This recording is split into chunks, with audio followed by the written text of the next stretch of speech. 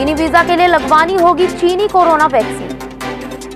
अब चाइना ने जारी किया एक अटपटा नोटिस कोरोना वायरस रोकने के लिए विदेशियों के आने पर चाइना ने लगा रखी थी रोक।